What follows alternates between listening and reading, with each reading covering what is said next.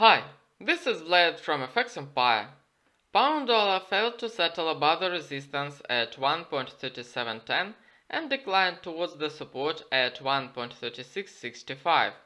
If pound dollar settles below this level, it will head towards the next support level at 1.3625.